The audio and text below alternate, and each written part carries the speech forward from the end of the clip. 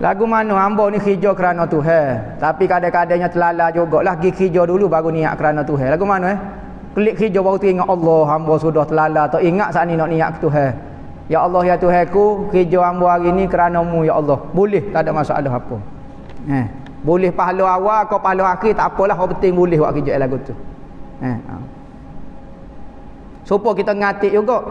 Ngatik ke. Nak hadiah pahala kepada si mati. Kita baca awal niat awal-awal lagi boleh. Niat lepas pada ngatik sudah berlaku semua baru kita niat pahala tu boleh boleh.